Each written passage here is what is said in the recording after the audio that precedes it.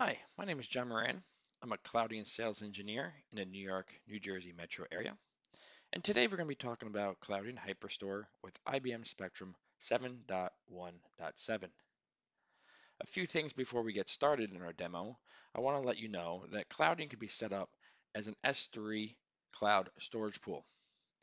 This was new in IBM Spectrum starting in 7.1.7 and can be used in all newer releases.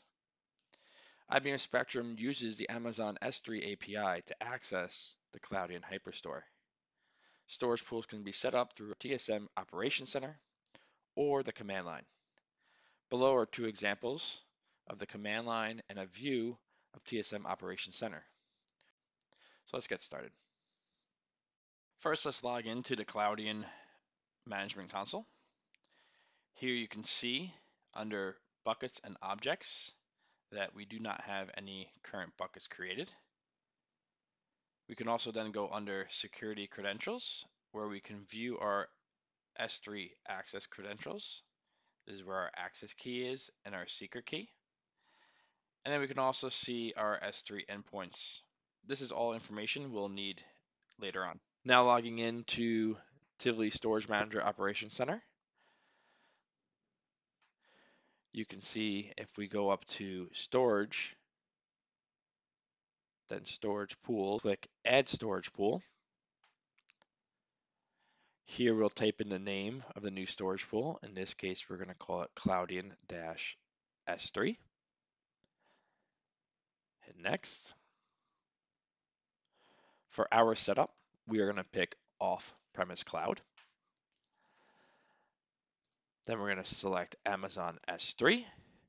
And here is where we're going to put in our credentials. Our access key ID for username.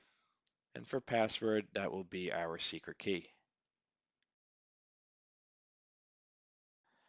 For region, we're going to pick Other. And our URL, we're going to put in our S3 endpoint. Hit Next.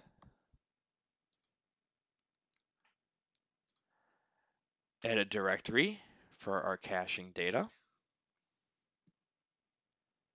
Add storage pool. And you can see we successfully created a new storage pool.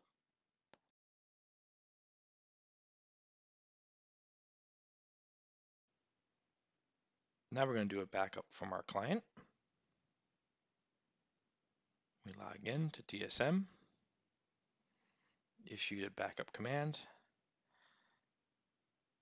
and you can see the data moving across to our Cloudian backup pool.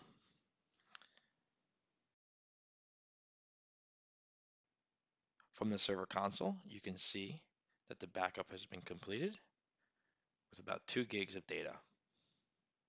And you can also see from the web interface that there are now two gigs inside that cloud container. So now we're going to move on to a little restore. Here we have our directory where we had our backups from.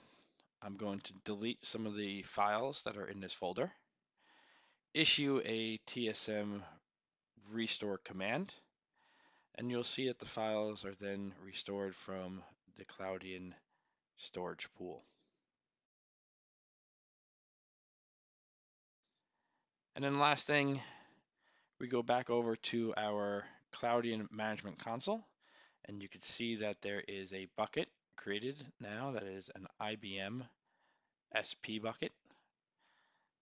And you can see all the folders that are under that bucket as well. So we have successfully completed a quick little demo of IBM Spectrum 7.1.7 creating a on-premise storage pool with Cloudian.